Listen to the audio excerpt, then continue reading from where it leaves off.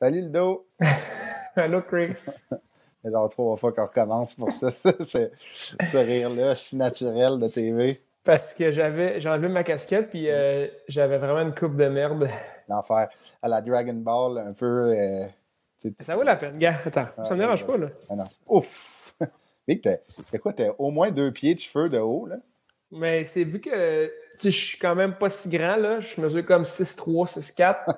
fait que euh, je m'agrandis avec euh, mes cheveux. Avec tes cheveux. Tu peux-tu faire les manèges avant le temps à cause de tes cheveux? Ouais, c'est ça, mes yeux, ils arrivent en bas de la barre, mais mes cheveux, ils surpassent. Le, le Goliath à 8 ans parce que ça, ça fait un an que tu te laisses tes cheveux. Hey, euh, on, on s'est entre- entretenu avec Ouais. un autre podcast. Un autre podcast. Un autre podcast. Je fais un AVC. C'est correct. Non, ouais, un autre, je peux, je peux compléter euh, un autre podcast Mhm. euh, avec euh, l'humoriste Simon Delille. Belle rencontre. Colin, euh, c'est c'est vraiment. euh, c'est un gars brillant. C'est un, Bon gars de Saguenay. un- Ouais, comment? Un bon gars de Saguenay. Ouais, un bon gars de party. Là, c'est plate, on n'est pas en live, là, mais c'est pas grave. Là, ça sera pour une prochaine fois. Ben oui, Simon, que vous avez connu gagnant du prochain stand-up la saison 1, donc euh, que vous avez vu à, à nouveau. Euh, Simon, un, il a commencé comme, auteur, comme humoriste et après il s'est dirigé comme auteur. Après, il est revenu euh, sur les planches. Simon, vous allez voir des bonnes anecdotes de dépanneur puis de pound shop. il y en a. Donc, euh, c'est ça, ça a été un bel entretien. Lieu d'où qu'on peut nous trouver sur quelle plateforme qu'on peut trouver? Ben, ça? Toutes, les plateformes qui se respectent, euh, tu sais, on, a- on est sur Patreon, justement. On a aussi tourné quelques jobs de la semaine Oui. pour euh, nos membres Patreon. Exclusivité de membres. Ouais. Euh, c'est vraiment, euh, c'est vraiment le fun de pouvoir, de pouvoir donner un peu de, de gravy à nos, Ouais. à nos fidèles. Puis Ouais. on a YouTube aussi. Oui. Yeah, YouTube. Yeah, all right. C'était rendu. T'es vraiment euh, la mise en onde, toi, dans le fond. Ouais, T'as étudié là-dedans. Ouais, moi, j'ai fait euh, deux ans à Promédia de mise en ordre. Pour être capable de faire des banners sur les StreamYards. Mais Moi, tous les télétons, c'est moi qui les faisais, c'est moi qui rentrais.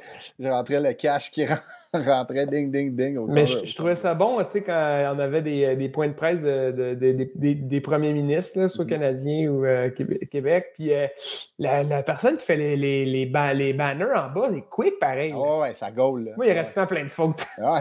Tu- Te souviens-tu, euh, dans le temps de Musique Plus, les, les banners, genre, c'est toi- tu sais, quand c'était comme les émissions top 3, puis là, tu vas écrire Salut Ludovic de ton Ah chum ouais. Chris. Ouais. c'est vrai, hein? des- en bas, ça déroulait. Ouais. Fait que euh, c'est ça, vous pouvez nous trouver sur YouTube, sur toutes les plateformes de streaming aussi, là, Spotify, euh, Apple Podcasts, Google Play, name it, sont toutes là, Cube Radio aussi. Donc, euh, bonne écoute avec Simon Delille. Yes.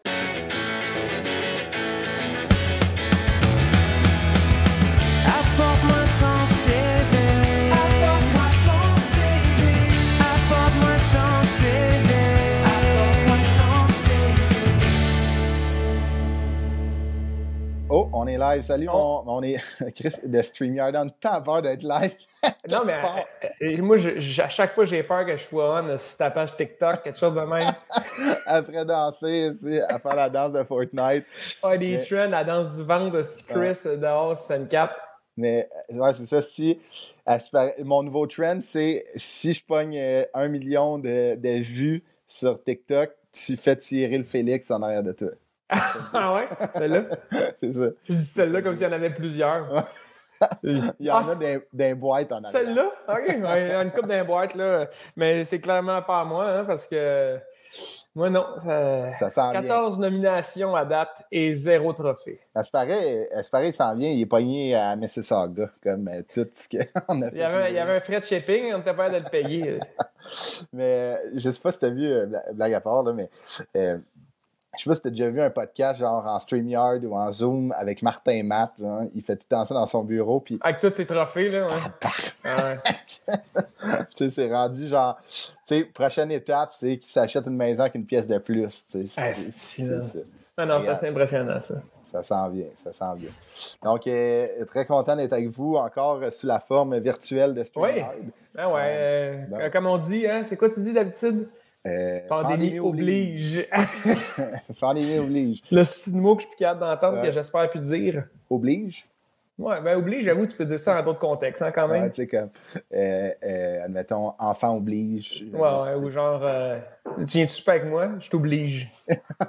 non, ça, c'est, ça, c'est toxique comme, Ouais, ça, comme c'est. comportement. Mais c'est ça, tu sais, là, on fait ça, on fait ce qu'on peut. Mais c'est le fun aussi, ça donne des, des belles. euh, ça, ça fait de, de quoi d'interactif, comme, mettons, tu sais, quand on est, euh, on est en studio, on dit, hey, allez liker notre euh, page YouTube, mais regarde, clair. Boum! C'est là. Le gars des banners, il est, on en le gars tabarouette. des banners, qui est moi.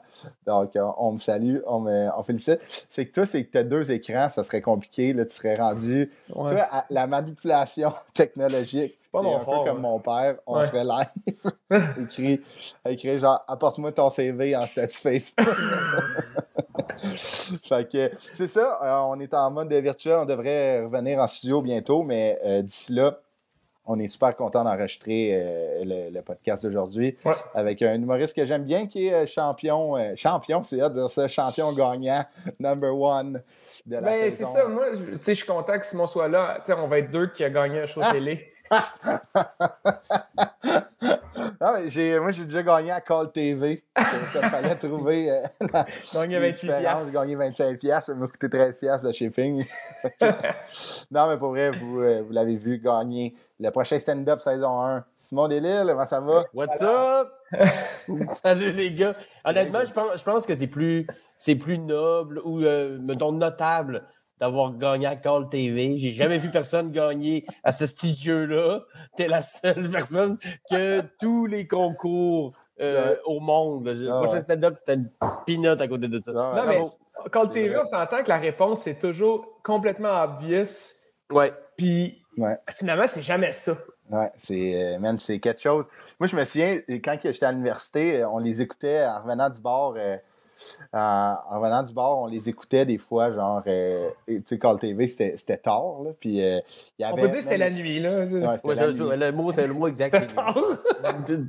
on revenait après le bar, on revenait avec c'était tard, là. tard. Mais euh, la, euh, la question, c'était, euh, nommez-moi, euh, admettons, un animal avec deux E dans son nom. Tu sais, admettons, il y a éléphant. Puis euh, le, le gars, il a appelé, puis il a dit rhinocéros. Rhinocéros. c'est dégueulasse. Wow! C'était possiblement moi, batté raide, de rhinocéros, puis il me trouvait drôle aussi. Ça nous coûté 7 piastres pour un petit bon gag. Ouais, c'était genre, il tournait ça en Suisse. Genre, c'était Ouais. fucking loin. Ouais, ouais. Quand il arrête de faire ça. Mais c'était c'était un petit contrat en plus, genre de. T'allais là comme un mois et demi ou deux mois, Ah t'en ouais. tournais plein, puis c'était vraiment bien payé, mais Ouais. en même temps, c'était un peu vendre ton âme. Les animateurs, ça? Ouais. Ah C'est oui? c'est une nice gig. J'avais vu ça. On m'avait pas invité, mais j'avais eu vent de les. C'était des gros montants, là, mais toutes dépenses payées là-bas, en Suisse, tout ça. Puis eux autres, ils en Ouais. tournaient plein un peu de temps, puis après ça, ils diffusent ça partout euh, à plein de. Ah ouais, at large, ouais, c'est ça. Ouais, c'est ça. Fait que euh, sais, ils pêchent à la dynamite, comme on dit. Mais c'est sûr qu'il y avait des affaires de comme, hey, viens faire ça un mois et demi, puis je te promets un show à TVA. Ouais, c'est ça. Ouais, ouais, ouais. On les a tous revus. C'est ouais. animateurs de Call TV en prime time. euh. Ils sont tous rendus dans le camp de jour. Ouais. Ils sont tous retournés dans les camps de jour. Finalement, ça va être encore guacamole pour quelques années. Hey, Simon Delille, né le 15 février 1985 à Jonquière, Bien sûr. Arvida.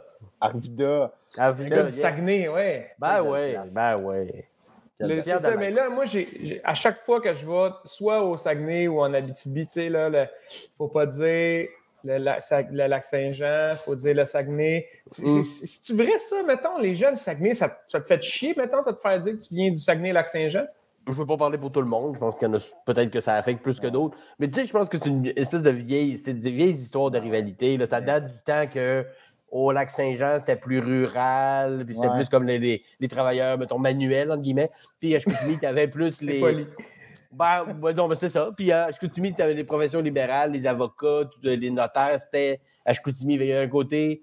le- les gens du lac disaient que le Saguenay était snob, puis le monde Ah, du Saguenay disait que Ouais. c'était des habitants. Puis ça, ben, tu sais, ça c'est un peu que tout, Ouais. le, tout, il- tout est tendu pareil. là. ça s'est nivelé avec le temps. Ouais, mais je pense qu'on joue un peu la game que c'est drôle, c'est un peu fol- folklorique. Puis, excuse-moi, euh, les touristes, ça leur fait plaisir de penser. Ben, gars, tu vois, moi, je suis comme un touriste du, lac, du Saguenay-Lac-Saint-Jean, puis ça me, Ouais. fait, ça me fait triper. Voilà, on pense qu'à Alma, tous les ans, on se réunit là parce que c'est l'embouchure du lac puis on se bat. Là, genre, gang, Ouais, c'est ça. gang of New York style. là.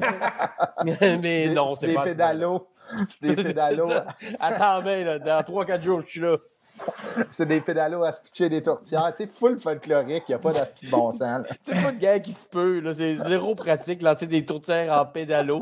C'est que c'est. Un, c'est de la job vers une tourtière. Ouais. Tu lances pas ça, si tu la Ouais, dégustes c'est- ouais, et c'est tu ça. crées des alliances. Ouais. Surtout la vôtre, là, la, la vôtre, Ah ouais. euh, admettons, ouais, Saguenay, euh, classique. Là, là, la tourtière du Saguenay, on parle pas de pâte à la viande ici, là, on parle Non, d'une autre, c'est euh, une autre sphère de la, de la viande dans de la pâte. On n'en refera pas la roue. mais, mais, loin de la euh, caramel, là, tu sais. Ah, ouais, non, c'est. Quel est le secret de la tourtière? C'est juste la faire cuire colissement longtemps. gros. Euh, Simon, tu es allé à l'école André Gagnon au, au primaire. Au primaire, tu étais quel genre d'élève? Tu étais quand même, j'imagine, comme. J'étais j'étais fin. Honnêtement, j'étais pas un tannant. J'aimais ça faire rire mes amis et tout ça, mais j'étais pas un élève qui, tu sais, moi, euh, me faire convoquer par le directeur parce que j'ai fait des mauvais coups, tout ça, c'était vraiment pas mon genre. Euh, pas low profile non plus, là, pas genre le. On me remarquait, j'aimais ça faire rire, faire le clown un peu, mais sans plus. Je me suis pas trop énervé à ce niveau-là. Puis j'ai été, euh, tu sais, la moitié de mon primaire, j'étais malade quand même pas mal. J'étais malade souvent. Fait que, tu sais, j'a- j'avais, j'étais à l'école, puis des fois non, puis bon, Ouais. il y avait un côté, mais à partir de à peu près troisième année, ça s'est mis à mieux aller. Fait que, euh, mais rien de notable. Tu sais, j'étais pas le rebelle ni lui que. Non, Il y en a toujours un qui longe les murs qui voudrait juste disparaître. Ouais, ouais. C'était pas ça. Puis d'autres qui sont juste too much. ouais, Euh, j'étais juste entre les deux. Mais t'aimais-tu ça? Tu- T'étais-tu un élève qui aimait ça? Ben, le primaire, pas si pire. Sais, c'est- primaire, c'est encore. Ouais, c'est ça. C'est pas trop dur, c'est encore assez ludique. C'est pas trop. euh, Mais on va sûrement en venir à parler du secondaire.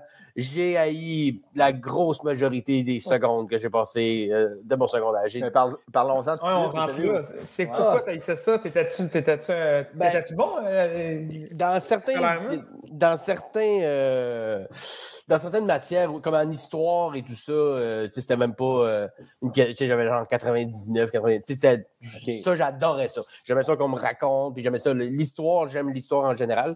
Français, tout ça, ça allait bien. Mais dès qu'on allait dans les sciences, les maths et tout ça, là, c'était un purgatoire pour moi, parce que, un, euh, j'aimais pas ça, donc, donc j'étais pas bon, puis ça me tentait pas d'être bon, puis je trouvais ça injuste Ouais. qu'on me force à apprendre des Ouais. patentes, surtout rendu secondaire 3, 4, 5, là, commence à avoir de l'algèbre. Puis c'est, tu sais, à cet âge, regarde, rendu à 14, 15, 16 ans, même si je savais pas exactement ce que j'allais faire dans la vie, je savais que les chiffres allaient pas être en lien avec ça. C'était clair dans ma tête. Puis Ah ouais. qu'on me force à apprendre la même affaire que lui qui va devenir médecin.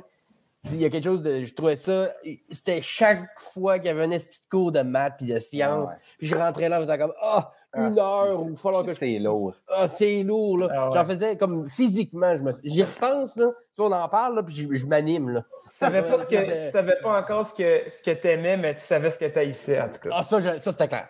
Ça, c'était clair. Mais tu sais, je savais que j'aimais, le- j'aimais parler avec le monde, j'aimais le côté social, j'aimais la scène. Tu sais, je savais que ça allait graviter dans ces eaux-là, puis tout ce Je faisais de l'impro en masse. Ça, c'était commencé au secondaire, l'impro, là. Secondaire 2. Puis mon premier coach, euh, Jean-Philippe Vautier. Ah, Euh, monsieur, bonsoir, bonsoir. Ah ouais, Euh, il était coach au séminaire de Chicoutimi, il m'a coach d'impro. Même que j'avais fait comme le camp en secondaire 2, le genre de camp de sélection là, ah, euh, pour faire l'équipe. J'avais fait une fois, euh, une journée, c'est comme sur deux jours. J'avais fait une journée, puis j'avais comme trouvé ça moyen. J'avais comme dit, Ah, là, je pense que je le ferai pas. Puis c'était lui, il était venu me chercher à la cafétéria en disant, non, non, je pense vraiment qu'il y a de quoi, puis il fa- faudrait que tu viennes. Ah, ouais. Il a bien fait, il a ah. insisté. Ouais. Ah ouais, Puis euh, dans le temps, il était euh, le monde de se le visualise peut-être pas, mais dans le temps, c'est là j'ai pas de photos, j'ai fouillé pour en trouver. Euh, Patrick Lagacé voulait que j'ai trouvé une photo, mais euh, parce qu'il était un peu genre grano, là. Euh, Ah ouais? Je voté dans le temps, genre poncho, Ah cheveux ouais? pas full propre, un peu, euh, un peu j'écoute du trio, puis je fume des, des cônes, là, genre. Ah, ouais. Euh, ouais? Parce que là, c'est Ben, je rendu pas genre la- fumait des battes, mais possiblement. Ouais. Mais il y avait Ouais, ce look-là. C'est Ok. plate parce que j'ai pas trouvé de photo avec lui. euh, parce qu'il n'est pas resté toute la saison, il n'était pas super fiable et qu'il s'est fait remplacer. Euh, mais j'ai pas de photo de ça, puis j'aurais aimé ça parce qu'aujourd'hui, il n'est pas du tout, du tout. fou, là. Quand je l'ai revu, il était tombé d'une machine Ben oui, à une machine à Mad Men, je sais pas, s'il habille les beaux cheveux, Ouais. c'est comme pas le même dude. Fait On dirait qu'il sort du Zara à tous les jours. Il est Oui, bien. Puis- Il a, dans la nuit, il va juste chez Ernest debout. Il reste de même. Puis là, après ça, il s'anime. Juste là d'un mannequin. C'est ça son lit, c'est d'aller dans Ouais. les vitrines, c'est arrêter de bouger. Ouais, Ouais, c'est ça. La, la nuit, il y a un mannequin de. de, Ouais. de- Comme dans la petite vie, d'or de bout, mais genre, aux, aux galeries d'Anjou. d'Anjou. hein. Il va jusqu'à Anjou. Puis, euh, mais ouais, ça a été mon premier cours d'impro. Fait que ça, ça, ça m'a aidé à passer au travail Ouais, c'est secondaire, l'impro, le génie en Ouais. herbe et tout ça, parce que l'école en tant que telle, puis encore aujourd'hui, je pense que c'est mal fait. là. C'est les, le Ah même moule pour tout le monde. C'est pas une technique qui C'est marche. quoi, très Génie en herbe? C'est- C'était des concours que vous aviez? J'ai- ben, je sais pas si tu- je Génie en herbe, c'est- ça a été à la mode, même que c'était à la télé pendant euh, Ah, ouais, ouais, RBO. Moi, j'en ai fait. parodie moi, j'en ai de ça. fait. C'était comme des équipes de 4-5, euh, 4-5 contre 4-5. Tu vois, des- les écoles s'opposaient. Puis c'était, ouais, ça, ça c'est des quiz avec des catégories. C'est euh, des, des Je de suis sûr qu'il questions. n'a pas été invité à ça, moi, là, si je comprends Ben, bien. toi, ben, t'es, t'es- t'es quel âge, vous avez? 29. Ben, ah, ouais, OK. Parce que peut-être que moi, j'en avais encore quand j'étais au secondaire, mais je pense pas que c'est. Je pense pas qu'il y en a encore vraiment dans les écoles. Mais tu sais, Ouais. comme une machine avec des buzzers de même. euh, OK. Ouais. Ok, Non, mais c'est c'est, un des quiz, en gros. là. Ouais, c'est des ça, quiz. c'est des quiz de connaissances générales. Exact. Mais, euh, tu sais, c'est ça, ça, ça dépendait. Mais c'était très, euh, corrige-moi, mais c'était très école privée, ça, quand même. Quand même. c'était, Quand même. Séminaire, de Chicoutimi, c'est privé, je pense? C'est privé. C'est vrai, c'est vrai. C'est, c'est, pas, parce que c'est coûteux aussi. C'est, Non, juste une ça. machine avec des buzzers. Ouais, Puis euh, nous autres, c'est une vieille machine. euh, d'après moi, c'était la même machine pour déclencher des codes nucléaires. là, Ouais, des- c'est ça, avec des grosses manettes. Là, il y a un bouton qui avait l'air de. Soit je réponds à une question ou je détruis un pays de l'ex-URSS. ou le Cuba. c'est ça. La baie des cochons, euh, c'est moi qui ai le. C'est moi qui-. Il y a juste un gars qui débranche le fil qui. Hi, ah, c'est trompé de fil. euh. Non, j'ai la question, je sais c'est qui qui a joué euh, Ouais. la princesse Amidala dans euh, épisode 1, tu sais. Mais c'est- euh, f- fait que c'est ça. C'est vrai que, tu sais, c'est- c'est au, au secondaire, euh, soit que tu aimes ça ou tu t'accroches sur des affaires comme ça. tu sais, Ouais. C'est ça qui te. Mais je pense qu'il y en a beaucoup qui s'accrochent. Il y en a beaucoup Ouais. qui, vont, qui, qui ont cette histoire-là de j'ai commencé à faire de, de la radio, de l'impro. Ouais. de- Puis ouais. c'est ça qui m'a gardé là parce que si j'avais pas ça. C'est pour ça qu'aujourd'hui, avec la pandémie, on, on, Et- on a tous trouvé ça dur, là, mais les ados, là, Ah, école à distance, t'as pas tes amis. Puis moi, si j'avais pas eu l'impro, on m'avait enlevé ça. Puis j'avais vécu ce qu'ils ont vécu là. Honnêtement, je sais pas comment j'aurais Ouais. mentalement survécu. Pas de voir mes amis, pas. Ouais. Puis, tu sais, mes amis, c'était l'impro, les impros, c'était mes amis, c'était tout le même monde. M'enlever Ouais. ça, puis il m'a donné juste des cours à faire chez nous. Oh my God, pas vous autres. Ah, c'est fou. Imagine l'impro sur Zoom. Non, c'est sûr qu'il y en a eu, hein. c'est sûr qu'il y a eu des Ah, ouais. tentatives d'impro sur Zoom. Euh, triste, triste. Un peu comme faire de l'impro d'un party de Noël quand ta famille nous, ils savent que tu fais de l'impro. Faites-nous donc de l'impro, là. Oh mon Dieu. Ah, Jésus-Marie. Euh, ça, c'était triste. Mais, mais euh, partons, euh, parenthèse sur le secondaire, là, partons sur, on s'en est parlé hier, puis j'aimerais ça qu'on on, on en parle les trois. Tu sais, moi non plus, euh, tu sais, moi, j- j'étais j'étais bon à l'école, mais les maths, euh, j'étais pas un fervent, là, tu sais, puis euh, Ludo, je sais pas c'était quoi ta relation. Moi, c'était ma, ma matière préférée. Ah Ah ouais? ouais? ok. T'étais Ah ouais, moi, j'ai ouais, toujours de là-dessus. Ouais, j'ai toujours coupé mains. bruns. Mais honnêtement, j'ai- j'ai j'ai toujours été jaloux de ceux qui Ouais, étaient bons. Mais j'étais pourri en français et je suis encore vraiment pourri en français. Quand je rédige un courriel, je demande à ma blonde de me corriger. Antidote, baby. Moi aussi, Ouais. niveau, ouais, moi aussi j'ai des lacunes, mais, euh, mais, mais ça m'intéresse plus. Ah, ça m'intéressait man. plus de lire des patentes, de faire des Ah ouais. compositions que. Mais, Accorder et avant, être et avoir, tu sais, je- comprends le mode mendu, là, mais quand il est avant, quand il est après, là, tu me Ouais, mêlé. Ouais, ouais. Je- ça, ça je- c'est pas le bout que je préférais non plus. Mais il y avait comme une bonne partie aussi qui était euh, comment euh, écrire des compositions, de lire Ouais, des poèmes, ouais. et tout ça. Puis J'ai même été publié deux fois. J'ai fait des concours de poésie. Euh, J'ai un Ouais? passé de poète euh, Ah, derrière la cravache. je suis Ben vraiment ouais, si je suis plein de surprises. Mais c'est ça, tu sais, mettons, moi, mon, mon, mon frère, il a eu des cours d'économie familiale à l'école. Ouais. Ça, là, ça qu'on disait, là, il n'aurait jamais dû enlever ça. Ben non, il devrait en rajouter. Le monde sort de l'école, tu sais, ils savent de l'algèbre et tout ça, mais ils ne demandent pas de faire cuire un œuf. là, Ils sont même, tu sais, Ah ouais. même- c'est même pas une façon de parler. Là. Ils sont pas capables de faire cuire un fucking œuf. Puis là, ils achètent de la crab des épiceries. Ouais, Puis ouais, c'est ouais. plein, de, plein de shit là-dedans, puis ils savent pas euh, même Ouais, se débrouiller, euh, tu sais, le moindrement. là. Après ça, c'est Ouais. pas des Toi, t'en avais des cours, Simon, d'économie Non. familiale? OK, Non. c'était c'était parti. ben, Il y en avait encore dans certaines Ouais. écoles au moment, mais à mon école, il n'y en avait pas. Puis, euh, tu sais, sur le coup, tu y penses pas. Aujourd'hui, je me rends compte que euh, là, je suis capable de cuisiner tout ça, mais, Ouais, ouais, c'est ça, ça va. euh, mais j'aurais bien aimé mieux ça, Ben oui. concrètement, dans la vie. Mm. C'est bien mieux de savoir avant, de savoir A à la B, A à la 2 plus B à la 2 égale C à la 2. Ah. C'était mieux de savoir faire du riz. Mettons, Ouais. dans Ah l'ordre ouais, des exact, exact. Ou genre de pas flourer ta paye la première semaine. Exact. Ouais, genre, Exact, euh, exact. sais, De, de faire des impôts, tu sais, juste comme les, premiers, les premières affaires, tu sais, des petits cours de comme comment faire. Tu sais, juste, Mm. mon frère, il me racontait que en secondaire 5, je pense, ou 4, il, il avait genre fait une sauce à spag Ouais. dans, tu sais, dans son cours. C'est quand même hot. C'est hot. Tu Puis tu tu c'est te rends compte qu'un dur, coup, tu l'as fait une fois ou deux, tu te rends compte que c'est vraiment pas si compliqué, puis que ça a l'air bien plus compliqué que ça l'est. Puis quand tu as passé ce- ce ce step-là de dire, hey, euh, je vais l'essayer, puis c'est pas si compliqué, tu Ouais. t'essayes à faire plus d'affaires, puis ça, ça engendre d'autres. Mais la première étape, à moins que tes parents l'aient fait avec toi, Ouais, ouais, c'est euh, ça. souvent, elle est dure à franchir. tu sais. Ouais, tu sais, admettons. à Le quel prof point qui, que- qui donne des notes à ça, par exemple, c'est malade. là. tu fais empoisonner. c'est- Hey, les Puis de la chefs, cannelle là-dedans, si tu manges merde. Zéro! Chris, tu t'es trompé, tu t'es trompé entre le bœuf, le bœuf et la plastine. Tu sais, ça coûte le raisin. Ben, ça coûte moins cher, mais Ouais. euh, c'est moyen. C'est réutilisable, mais tu le manges pas. C'est comestible. Ça veut pas dire que tu es obligé de le manger. Là. Ouais, je suis- moi, tu seras pas con- malade si tu le manges. Ça veut pas dire Non, que tu seras pas malade, mais tu vas chier l'arc-en-ciel, solide. là. Shit the rainbow. Ça serait un nice, euh, un nice slogan.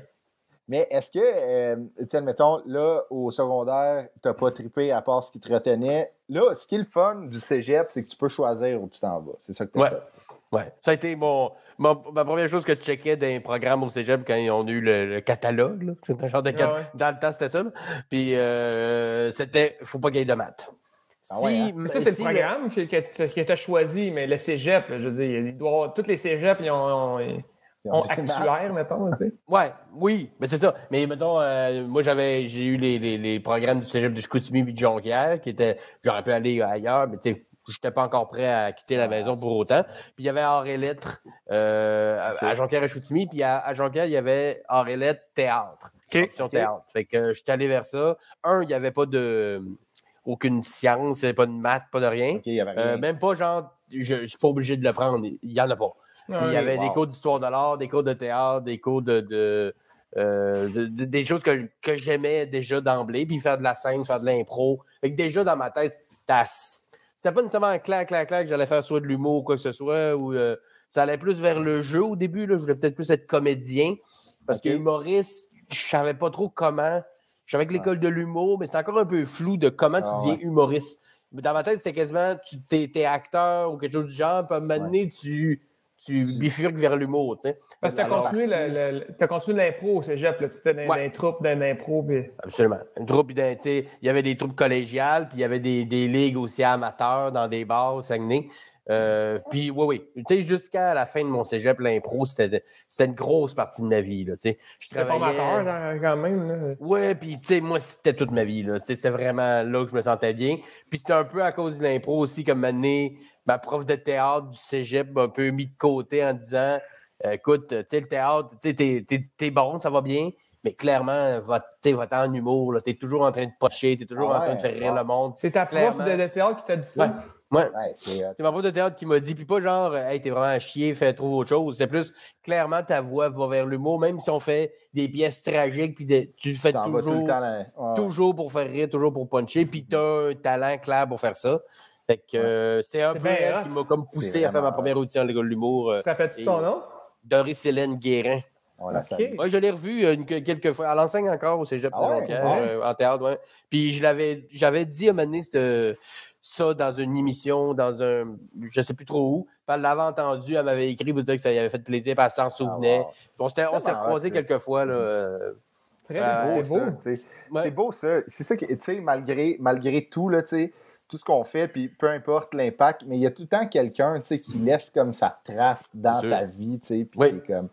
Puis beau. autant qu'il y en a qui laissent des mauvaises marques, il y en a que c'est pas très positif de lui, je l'ai tellement haï. tu sais. Mon prof Ouais. de maths de secondaire euh, Ouais. 3, Monsieur Blanchette, là, je, je rêve que je le bats. J'haïssais ce gars-là, mais parce qu'il était tout ce que je détestais dans la vie. Il y en avait des profs de maths Des qui comprenaient chiffres. même pas ça. mais lui, c'était un, limite pas Asperger, c'est pas Ouais. contre lui. Mais tu sais, genre, lui, c'était un. Tu peux pas, pas comprendre ça. C'est simple, c'est ça. Mais je Ouais. comprends pas. Ouais, mais tu devrais comprendre. Ah non, Oh my euh, god, oh man. Ça, Lui, là, je l'ai haï, là. euh, à plus. Mais tu sais, lui, c'est pas de sa faute. Lui, il- en maths, il était bon, mais socialement, il était à chier. Fait qu'il aurait peut-être besoin d'être un prof, tu sais. Ouais, c'est ça. Euh, J'étais pas Il y en le a, seul là, euh. Tu sais, il y, en- il y en a qui. Il il y en mais tu as tellement raison. tu sais, Il y a- il y a de quoi de. Il y a de quoi. Tu sais, être prof, c'est un peu une discipline oratoire. Tu sais, t'es- Oui, un, t'as un crowd, là, tu as des interactions. Puis ce qui est, ce qui est touché à l'école, mettons, c'est que tout le monde est différent. Tout le monde a une compréhension différente. Puis faut pas que tu te laisses dire comme si lui comprend, mais l'autre comprend de la même façon. là, Ouais. c'est ça. Tu sais, ça peut être, j'imagine que pour un prof comme, tu sais, d'affaires comme les maths, c'est pas une, Ouais. c'est pas de la, c'est pas de l'opinion, c'est pas de la réalité, c'est quelque chose de, c'est plus clair que les maths. Ouais. Fait que ça doit être quand même dur d'enseigner les maths à quelqu'un que tu il est pas capable, lui, il est capable de faire plein d'affaires, mais ça, ça rentre pas. Ouais, Puis d'essayer d'expliquer, ben, je sais pas comment te dire plus que 2 plus 2, ça fait 4. Je sais pas comment te le dire mieux. Tu sais, ça doit être un peu choquant par rapport à peut-être une, une- un- comme l'histoire, tu racontes quelque chose. Quelqu'un Ouais, peut pas ne pas comprendre, c'est une histoire. Et après ça, ben, tu peux aller dans les détails et apprendre mieux que d'autres. là, Mais Ouais. je sais pas, ça, ça doit être un peu choquant. Je peux comprendre. Ça doit être un peu Ouais, choquant. complètement. Ça doit Mais ça doit être quand même important d'être pédagogue minimum, Ouais, tu sais, ouais, ça- au oui, minimum oui. quand tu es professeur. tu sais. Mettons, moi, sûr. je sais que j'ai vraiment pas la fibre non. pédagogique en moi. Là. Mettons, j'explique quelque chose à quelqu'un, ça me... moi, ça me frustre quelqu'un qui comprend pas quelque chose, quelque chose que j'explique de simple. Mais c'est correct aussi. Je serais juste pas- en esti tout le long. Mais c'est bien Mais je le sais. compte. Au moins, tu es au courant.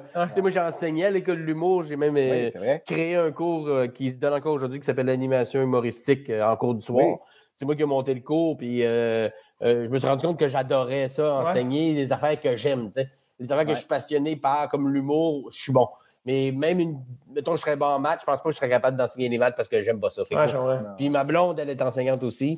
Puis ouais, hein? vraiment, tu sais, qu'on dit que c'est une vocation. Ah, euh, Ouais. ça, c'est- tu sais, ça prend une patience. Puis elle, elle enseigne à des jeunes qui ont des troubles du spectre de l'autisme. Ah, ouais, et des, des- Fait que ça demande une, une patience, une rigueur. Puis euh, pour des petites, petites avancées, c'est des enfants euh, souvent assez hypothéqués. tu sais. Ah, Fait que ouais. c'est des petits, petits bouts. Fait que chaque petite avancée, c'est une grande victoire. ouais, c'est ça. Ah, ouais, Mais pour quelqu'un comme moi qui est trop rationnel, ça me fâcherait. Ouais, Même si je comprends qu'ils ne sont pas dans le même. euh, c'est ça. Ouais. en tout cas, c'est ouais, ouais, c'est que même M. Blanchette, euh, je l'ai haï, mais avec le recul, tu sais, je pense pas une mauvaise personne pour autant. C'est Non, juste non, que c'est ça. il y a- il- je l'associe à quelque chose que j'haïssais tellement. Ouais. Mais complètement, tu sais, c'est ça. quand ça vient, quand ça vient, genre, euh, tu- c'est une corde. Tu sais, on a tellement de mémoire quand même sélective là, dans la vie, là, tu sais, on associe, tu sais, par exemple, moi, mettons, je pense que je serais plus jamais capable de manger de poulet au beurre de pinot. Jamais. OK. OK? Au malade?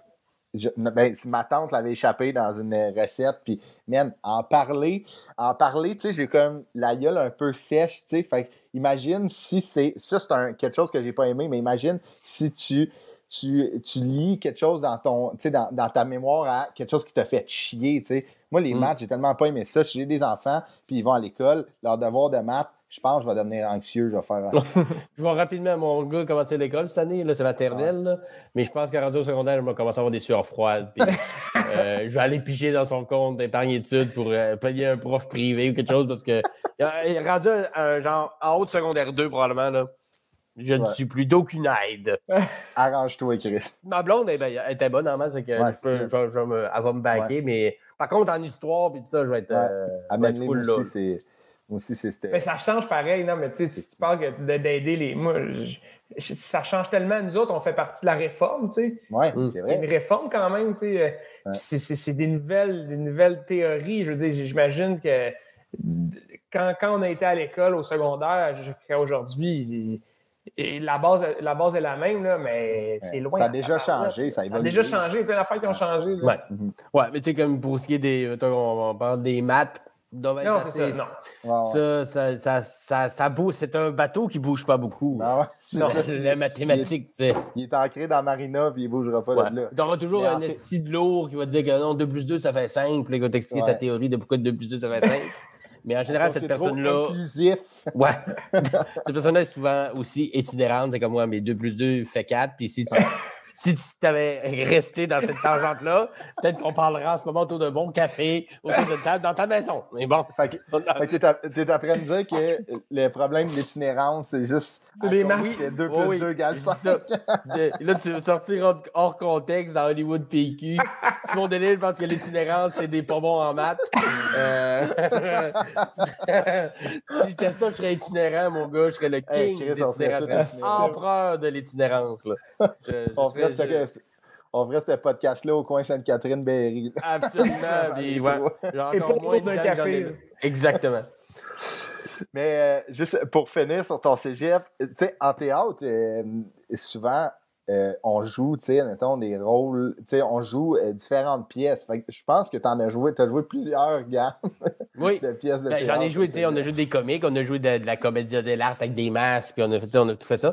Puis J'ai même euh, notre projet de fin de deck, parce qu'on avait. une- En fait, en, en chevauché, on jouait une pièce avec le groupe de théâtre, la pièce que la professeure montait, tout ça. C'était euh, Marion du Faouet, la catin aux cheveux rouges. Puis C'était une pièce qu'on avait montée que les décors, c'était comme euh, des cubes en bois qu'on avait fait, qu'on déplaçait au fur et à mesure de la pièce, qui, un moment, était au marché, puis on les plaçait comme des étalages de marché. Puis un moment, c'était un, un évêque qui parlait, puis on faisait un espèce de trône. Il n'y avait pas de décor en tant que tel, c'était juste les cubes qui se bougeaient. Puis on faisait tout comme. euh, puis tu sais, on était juste deux gars, il y avait moins de gars dans le groupe. Fait qu'on faisait, moi puis euh, Jonathan, mon collègue, on faisait genre tous les rôles de gars à deux à peu près. Fait qu'on jouait en 7-8 personnages différents, avec des pas aussi importants les uns les autres, mais quand même. Et en même temps qu'on montait ça, on faisait notre projet de fin de deck, qui était de monter la pièce Phèdre de Jean Racine. Pour ceux qui ne connaissent pas, c'est une tragédie grecque écrite écrit en alexandrin. Hein? Puis moi, je jouais le rôle de Thésée, qui était Phèdre, pour ceux qui ne connaissent pas, c'est euh, une, euh, une, euh, une demoiselle qui est amoureuse de- du fils de son mari, euh, ben, contre son gré.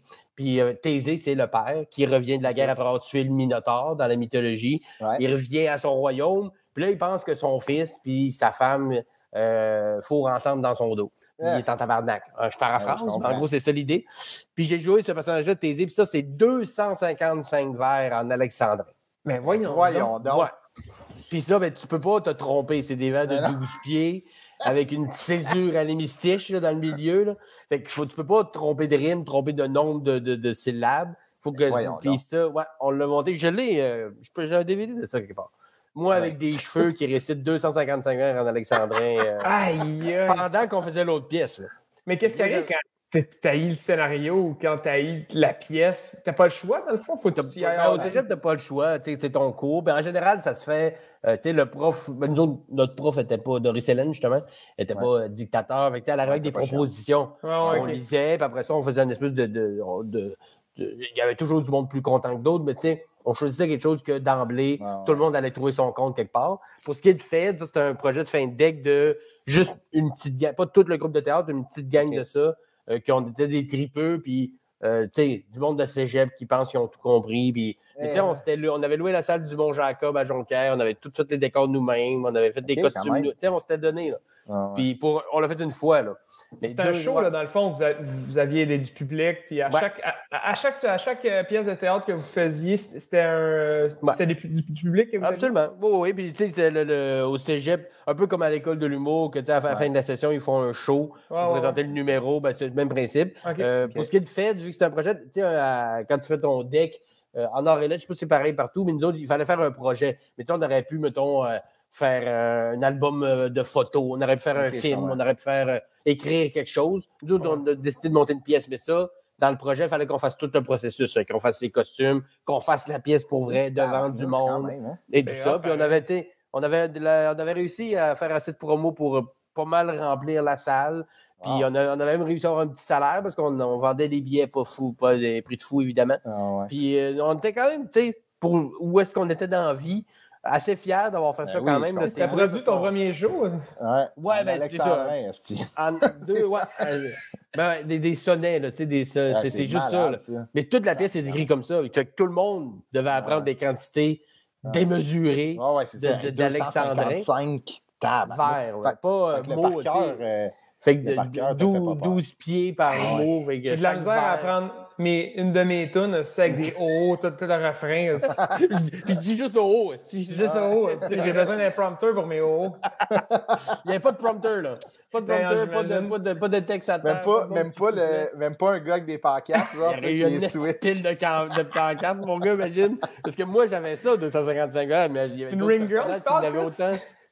Une ring girl. Super. Ouais, c'est un concept. là. Il y a une ring girl euh, dans Peut-être que les. Ring Girls, ils font juste donner esti, des chiffres pour justement des gars en map dans le fond de la, de la salle. Ah. tu sais, On sait pas. Là. Deux, trois comptables. On n'a pas vraiment besoin d'être là. Ta gueule, après une pancarte, ah oui, c'est le ring. Mais euh, ouais. Fait que maintenant, le par cœur, ça te fait pas peur. C'est ça. Mais ça. euh, tu sais, puis je faisais ça et l'autre pièce avec huit personnages en même temps. J'ai réussi à faire à, à apprendre les deux. Fait qu'aujourd'hui, tu sais, apprendre euh, souvent que c'est moi qui ai écrit la plupart du temps, euh, c'est pas. euh, c'est jamais vraiment ça le plus dur dans le processus d'écrire un numéro, c'est pas de l'apprendre, vraiment. C'est ça. On va probablement y aller là, mais je, je- toi, de, comment tu fonctionnes pendant tes shows? C'est-tu c'est-tu appris par cœur à la virgule près ou tu te places à impro dans tes euh, places à ce que ça bouge? Ben, quand euh, quand j'écris un numéro puis que je, je le peaufine puis que je le rode d'un bar et tout ça, euh, y a- il y a- pas, pas mot à mot. J'écris quand même un texte que je lis. Souvent, je, je, mettons, je le récite, euh, je l'enregistre puis je Ouais. m'écoute à l'audio. Pas, pas à la virgule près, mais quand même assez proche de ça. Avec toujours une petite marge d'impro. Il y a des fois, ouais, de, je trouve pas le gag, mais je sais qu'il y a quelque chose là. Je pense Ouais, que ouais. sur scène, il y a peut-être de quoi qu'il faut débloquer. Mhm. Mais un coup qui est, un coup qui est cané, un coup je le fais d'une façon qui me plaît puis qui, qui rentre comme je veux, un moment donné, il, bouge beaucoup moins. Là. Il peut, Ouais, ouais, ça peut ça. varier un petit peu. Mais un coup je l'ai trouvé, je le fais comme ça. Puis après ça, quand je le mets dans mon show de, sur une longue durée, c'est sûr que de soir en soir, il n'est pas Ouais, va. exactement pareil. Ouais, je ouais, m'adapte un peu au mood, des fois, il est plus haut, plus bas. Plus... Mais un coup qui est, qui est cané, il ne bouge pas beaucoup. C'est ça qui est beau, tu sais, je trouve. Euh, Tu sais, admettons, l'humour, euh, l'humour, ça a l'air comme une- quand même une malléabilité qui est Ouais. fun. Tu sais, la rigidité d'un numéro, l'efficacité va toujours être la même, mais de la façon que tu vas l'amener, si ça diffère de soir en soir, mais tant mieux, tu sais, ça reste que toi, tu te fais encore du fun dedans. Exact. Mais c'est cool aussi de. Tu sais, comme pour le prochain stand-up, la deuxième round, euh, je parle, c'est un numéro où je parle que je me suis déjà réveillé paralysé parce que j'avais des problèmes de calcium et tout ça. Mais ça, c'est un numéro que j'avais écrit, la première version. Je l'ai écrit que j'étais encore à l'école d'humour. tu sais. Ah ouais, C'est un numéro, puis c'est un numéro que, Que j'ai déjà fait dans. Ouais, puis là, j'ai ressorti le texte, puis des fois, je le faisais encore en corpo, mais plus rarement. Ouais. Puis je le faisais pas mal tout le temps de la même façon depuis longtemps. Puis je l'ai envoyé à mon, à mon collègue euh, qui m'aide aussi avec mes textes à l'occasion, Michel Sigouin. C'est le script éditeur de Mariana Maza, entre autres. Mais c'est un ami aussi. Puis j'ai envoyé. Puis il m'a renvoyé une coupe de nouveaux gags, une- juste deux, trois patentes. Ça a comme fait si j'avais un nouveau numéro dans les mains, Ouais, alors que je l'ai fait des centaines de fois. Ah ouais, Et ça. puis que j'ai refait ce numéro-là avec un espèce d'engouement de j'ai du nouveau stock, Ouais. mais c'est pas du nouveau, j'ai la certitude qu'il est bon, je l'ai fait 100 Ouais. fois. Mais j'ai deux, trois petites pinottes qui étaient pas là avant. Qui était pas là avant, puis qui Ouais. carré, ouais. Exact. Puis, je- tu sais, euh, euh, Michel m'avait envoyé une coupe de gars. J'étais comme, ben oui, ça, c'est sûr, ça rentre. ça. Ouais, Tu sais, ça n'a pas, pas grand-chose. Juste deux, trois Ouais. patentes, puis ça a tout changé, puis ça m'a redonné le boost Ouais. de leur faire comme si c'était la première fois que je le faisais. Ah ouais. Surtout sur un, un numéro que un numéro que ça fait longtemps que tu fais puis tu connais Oui. l'efficacité. tu sais. De manière, tu tombes sur le cruise control un peu. Exact. Puis Exact. quand tu rajoutes un gag, tu as tellement hâte de le faire. tu sais, c'est ça qui est- tu- le monde le voit dans ta face. Moi, des fois, quand j'ai un nouveau gag, que ça va être genre la première ou la deuxième fois que je le fais, puis je sais qu'il marche, j'ai hâte de le faire. Des fois, je me filme, puis je le vois dans ma face. Hâte. J'ai hâte de le faire, puis quand il marche pas, t'es quand même. Mais, tu sais, le- Ah, mais c'est pas grave. ouais. Souvent, euh, Ah ouais, souvent l'excitation valait la peine, même s'il Ben rentre moyen. Euh, ben, Parlons-en. Euh, Dumont, toi, après, après le cégep, tu t'es- t'es- tu t'es dirigé vers l'École nationale, mais ça n'a pas été facile rentrer à l'école. J'ai fait euh, quatre tentatives. Euh, la- J'ai été accepté à la quatrième. Refusé les T'as fait trois des premières. recherches? C'est, euh, parce que tu disais que tu savais pas trop, tu savais Ben, que ça existait. Je savais que ça existait l'école de l'humour. Euh, tu sais, quand je suis rentré au cégep, parce que ma première audition, je l'ai faite en 2005. Fait que Ok. j'étais encore au Saguenay, j'étais au Ok. cégep. Euh, mais c'était pas ma première année de cégep. 2005, ça devait être comme ma deux, troisième. Puis, tu sais, au moment où le cégep commençait à poindre sa fin, euh, j'ai fait des auditions aussi pour des écoles de théâtre. Euh, puis j'ai vu, tu sais, là, je me suis renseigné un peu plus sur l'école de l'humour. Puis j'ai vu que un peu comment ça, me- on procédait et tout ça. Ouais. Ça restait quand même un peu flou de comment écrire un numéro parce que je, je faisais du théâtre, je faisais de l'impro, mais j'avais jamais écrit de numéro d'humour. Mhm. Sinon, c'est des ça. petites patentes pour animer ci, ça, là, mais Ouais, jamais des numéros en tant que tel. Fait que première audition, euh, je m'inscris, puis tu sais, pour ceux qui ne savent pas, tu t'inscris, Ouais. ils te donnent une date d'audition, puis là, ben, je monte à Montréal pour ça. Hein, Puis l'audition, ben, c'est à l'école de l'humour, d'une salle où il fait sombre, Ouais. avec deux, trois personnes dans le fond que tu, que tu vois, entends pas vraiment, puis ils sont pas. euh, sont pas là pour te faire croire que tu es super bon, fait qu'ils Ouais, sont pas ça. toujours aux éclats. Fait que tu sais pas trop, là. Tu vois là, puis là, à la fin, tu choses un peu avec, tu t'en vas. Puis là, t'es dans comme si fait que ça tue et t'es correct, puis Ouais. c'est un peu weird. T'as pas vraiment de retour sur les choses à améliorer, ce que tu devrais faire de plus, fais ci, fais ça. Fait que Ouais, tu ça. juste te faire. Non, de- euh, t'as pas été accepté. Je comprenais, première année, tu sais, j'étais pas Ah, prêt. ouais. Même chose pour la deuxième. J'étais un, un peu plus prêt, mais pas tant. Puis c'est à partir de là, à partir de la deuxième refus, j'ai fait comme bon, là, c'est vraiment ça que je veux faire. C'est pas en restant au Saguenay que ça va arriver. Non, c'est Euh, ça. il m'est arrivé plein de patentes cette année-là au niveau de santé. Euh, Ça avait été une année difficile. Que je me suis dit, regarde, on sait jamais qu'est-ce qui peut arriver. Ça peut basculer d'un bord puis de l'autre. Si j'ai envie de faire ça, personne ne va, me, va venir me chercher. C'est Ouais. moi qu'il faut qu'il y aille. Je suis déménagé à Montréal euh, Wow. pour faire ça avec un de mes amis euh, qui s'appelle Pascal Grandison, qui lui, depuis, est retourné au Saguenay. Puis j'ai même fait du duo euh, Ah en ouais, humour pendant à peu près un an, un an et demi avec lui. Ouais. Euh, puis Ah la troisième audition que j'ai faite à l'école, c'était en duo. Et on a été refusé. OK. Ah, puis après, ouais, là, ça faisait trois fois qu'on me refusait. Puis Celle-là, je l'avais pris rough un peu parce que là, j'avais pris des cours à l'école. Là, j'étais Ouais. déménagé. Là, je me sentais plus prêt. Tu avais investi, tu t'étais investi Ouais. plus, là, tu sais. Ouais. Puis je sentais que j'avais euh, grandi, là, que j'allais vers quelque chose. Mais mon ami, lui, il n'avait pas travaillé vraiment. Tu sais, je pense qu'il tenait pas autant que moi. Mhm. Clairement, il tenait pas autant que moi. Ouais, Fait c'est qu'à ça. partir de là, je vais être comme non, regarde, moi, je suis venu ici pour faire ça. J'ai pas de plan B. Je, je vais essayer Wow. tant quand- tant qu'ils vont me dire oui. Puis euh, la quatrième, j'ai décidé de la refaire en solo parce que je me suis dit, regarde, s'il me refuse là, euh, parce que là, j'ai été honnêtement un peu en crise contre lui parce que c'était pas de sa faute à lui, mais sur le Ah coup, ouais. j'étais amer un peu, tu sais. Mais Fait que je me si- suis dit, si si vous n'avez pas la même drive, c'est frustrant. Ouais. Parce qu'en duo, ce que tu fais, c'est que tu fais un numéro en duo, puis chacun des deux fait un petit solo. Ah ouais? OK, je savais pas ça. Ben, je sais pas si c'est encore de même, mais c'était comme ça quand je l'ai fait. Puis moi, ben, tu sais, comme la veille de l'audition, il m'a- il- il m'a- il m'annonce qu'il n'avait pas fini d'écrire son numéro solo. Ah, Fait que là, on rush pendant une soirée, il écrit un numéro. Pendant ce temps-là, moi, je pratique pas. Fait que j'étais un peu shaky sur mes patentes. Ah ouais, c'est ça. Puis, euh, c'est- autant Sans de sa faute que de la mienne, sans rancune, absolument. Ah ouais. Fait que la quatrième fois, j'ai dit, garde, s'il me refuse. Tu rêves pas de lui que tu, tu le bats comme ton Comme de maths. M. Blanchet. non, non, non, pas du tout, pas du tout. Euh, fait que c'est ça, la quatrième, j'ai dit, mais s'il me refuse là, je vais juste en vouloir à une personne, puis ça va être à moi. Ouais. Fait que là, là, je me suis mis à roder comme le plus que je pouvais. Cours du soir aussi. Euh, tu sais, j'ai fait toutes les. Puis là, cette année-là, je suis rentré à l'école, j'ai fait, ben, fait de l'audition. Après l'audition, ils font un genre d'entrevue, puis là, ils me disent Ouais, là, ça fait comme quatre fois qu'ils t'essayent. Euh, Ah ouais, hein? tu commences à faire. Ouais, ils font comme tu commences à faire des shows pas mal. Tu sais, peut-être que tu as assez de bagages pour pas nécessairement venir ici. Tu sais, qu'est-ce que t'en penses? J'ai dit, ben écoute, si vous me refusez cette année, je vais revenir l'année prochaine. Puis ils m'ont dit, ils ont comme compris que j'avais la. la- Au moins, j'a- j'avais peut-être pas encore tout le talent ou la connaissance, mais j'avais le vouloir. Ouais, Ah ouais. ouais. Ça me tentait pas vrai. Fait que là, ça est accepté en 2008. euh, Et après- C'est Jusqu'en ça, tu 2010, faisais, il y avait ça- des soirées, euh, tu faisais des, des, des open mic. Ouais, puis, euh, exact. Toutes les petites soirées qu'il y avait, tu sais, le Saint-Cyboire. Il y avait beaucoup de soirées éphémères dans celle-là qui popaient, qui Mhm. mouraient. des- Puis dès qu'on me proposait, n'importe quoi, là, tu sais, des le d'église, des... tout, tout, tout, tout, tout. tout. Fait que, Ouais, puis, tu sais, dans ce temps-là, il n'y avait pas un aussi gros circuit. euh, en ce moment, c'est un mauvais exemple, mais mettons, dans les dernières années, il y avait un gros circuit des bars où tu pouvais jouer trois fois par soir, si tu veux. Ben oui, plusieurs fois par jour même. Ah Dans ce temps-là, c'était pas ça. Il y en avait quelques-unes, mais c'était plus Ah niché. Mais un coup que tu faisais une, allais une place puis que tu sais, tu paraissais quand même bien, c'était plus facile de te placer aux autres places. Ouais. Que j'avais réussi à jouer quand même relativement beaucoup, entre guillemets, pour les proportions de ces années-là. Ouais, ouais. Fait que j'étais arrivé à l'audition puis j'étais clairement. Ouais, ouais, j'étais prêt. Puis tu sais, l'année que j'ai été pris, j'ai été pris avec euh, Adib Al-Khalidé, Ok. euh, Charles Beauchesne, Pierre-Bruno Rivard, euh, tout du monde avec qui je travaille encore, puis c'est encore des amis proches. Puis peut-être que ça a bien tombé que je suis cette année-là. L'année d'avant, c'était d'autres mondes que j'aurais peut-être eu moins d'affinité. Des fois, Mhm. rien. Fait que ça a Ouais, ouais, bien- j'ai tombé sur une bonne année qui fitait avec Ouais. mon genre de, de monde. Puis on a- y ça a été une super belle cohorte. Il n'y a pas eu de chicane, il n'y a pas eu de, il y a pas eu de, de backstabage. La tournée a super bien été. Fait que, ça. super bien tombé dans le fond.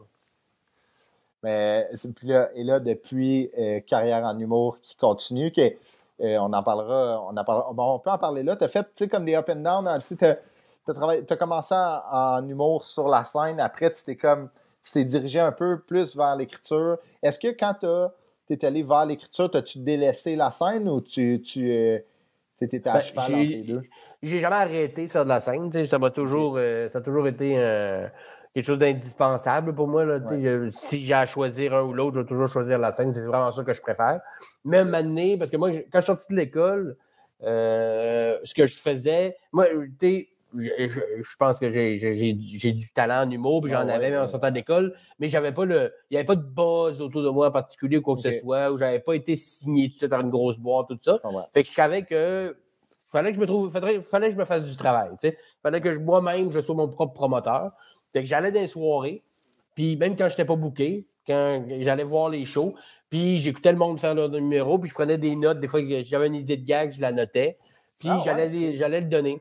Ah J'ai- ouais? Donné des, je ne sais pas combien de centaines de gags à Ah, combien ouais, de monde. bon, à beaucoup, beaucoup de gens. Puis, il y a une- puis mon idée là-dedans, c'était toujours, toujours gentiment puis humblement de Hey, c'était bon, j'ai une idée de gag, je donnais le gag. Puis, ça te tente qu'on aille brainstormer, un moment donné, qu'on aille écrire, euh, gêne-toi pas. Puis, il y en a plein qui m'ont jamais rappelé, puis tout ça, puis Ah, c'est bien ouais. correct. Il y en a avec qui je suis allé une fois, puis ça n'a pas cliqué, puis c'est bien correct aussi.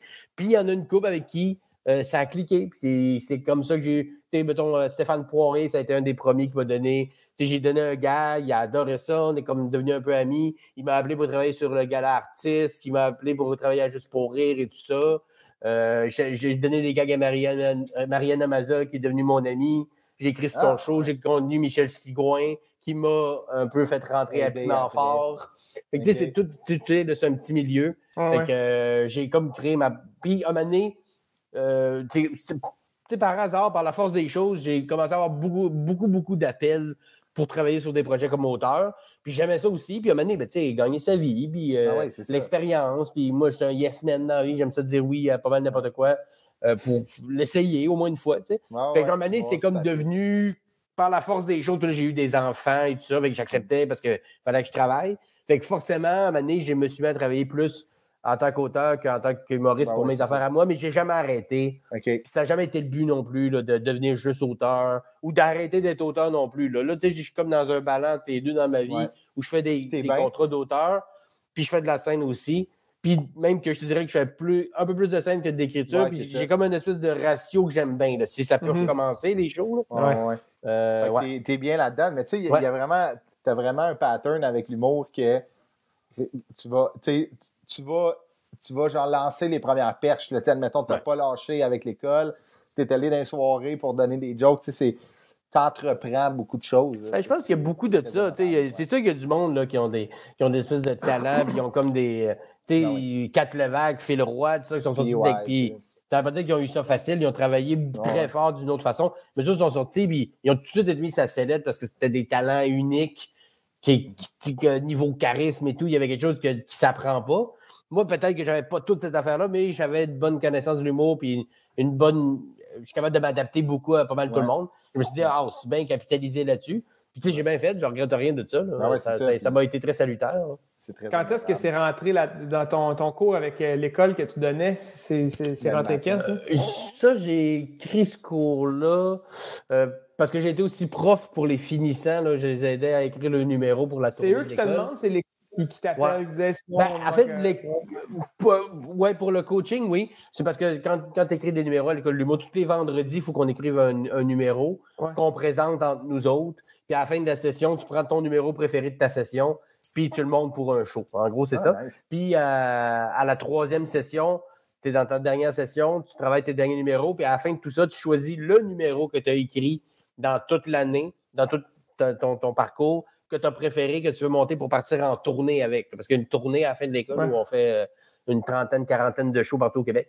Fait que moi, j'étais là pour aider les élèves à écrire leur numéro du vendredi et après, le choix, aider à choisir le numéro de tournée, puis les aider à, à écrire et réécrire leur numéro de tournée. Puis oui, ça, c'est l'école qui m'ont appelé parce que, tu sais, il y a toujours un, co- un prof qui est plus comme niveau mise en scène. Euh, c'est souvent Stéphane Maillé, c'est un gars d'impro, c'est un gars de théâtre. Puis souvent, à côté, tu as un auteur qui est plus souvent soit un auteur d'humour ou un humoriste en tant que tel. Puis moi, ben, ils m'ont appelé parce que je, je suis auteur, mais je suis aussi humoriste, je suis aussi humoriste qui connaît le circuit. Fait que j'avais des conseils à donner qui étaient concrets Ben ouais, dans le ça. milieu de l'humour parce que je suis dedans. là. Je suis pas juste genre. J'en faisais il y a court 20 terme, ans. exact. C'est pertinent. C'est pertinent, puis c'est concret, puis c'est là. Puis euh, pour ce qui est du cours du soir, moi, Mané, j'ai- tu sais, je suis sorti de l'école. J'ai, en 2012, j'ai commencé à animer une soirée au pub Le Brouhaha, Mhm. euh, Oui. qui existe encore euh, à ce Ouais, jour. Très belle soirée d'humour. Ça, ça a été une, une de mes plus belles écoles et expériences d'humour à vie. Ah ouais. J'ai animé là pendant trois ans. Puis après avoir passé ces trois ans-là, je me suis rendu compte qu'à l'école, on- n'en parle pas tant que ça. Ouais. C'est quoi animer?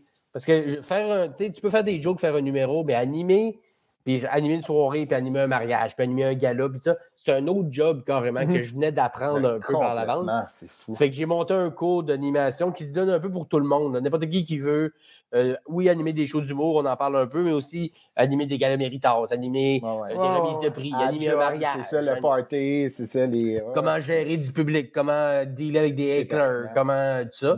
C'est là qu'il a appris Charles Lafortune, je pense. Hein? Ouais, ouais, exactement. Mon premier élève.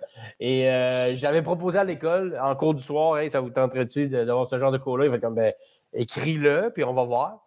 Fait que je leur ai écrit un Très cours de, de trois fois, euh, sept nice. fois trois heures pour euh, comment animer de façon générale. Il se donne nice, encore, c'est juste plus moi qui le donne, j'ai plus le temps, mais il y a encore de, de- Ouais, il, il y a encore legacy.